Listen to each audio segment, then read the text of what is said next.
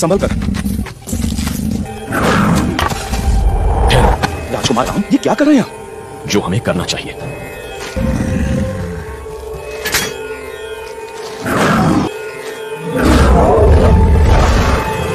जा हम ना तुम्हें कोई हानि पहुंचाएँगे। और ना ही उसे।